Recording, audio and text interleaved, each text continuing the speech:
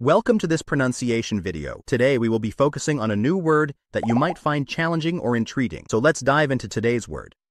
Morocco, which means a country in North Africa with coastlines on the Atlantic Ocean and Mediterranean Sea. Let's say it all together. Morocco.